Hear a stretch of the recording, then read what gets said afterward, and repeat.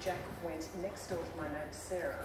Her dogs, who normally really aggressive if he went over there, just backed off. That brought Sarah back over here to see what was wrong. on. So there you go. Amazing things, dog, don't they? Meanwhile, the temporary truce between Jack and his neighbour's dogs is well and truly over.